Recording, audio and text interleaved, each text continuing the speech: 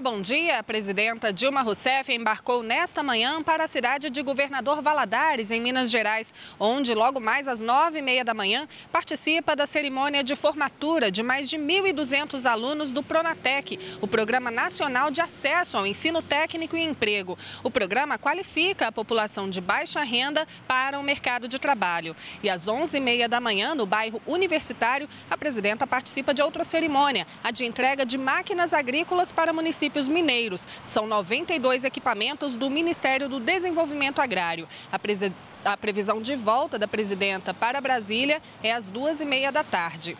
Ana Gabriela Salles, direto do Planalto.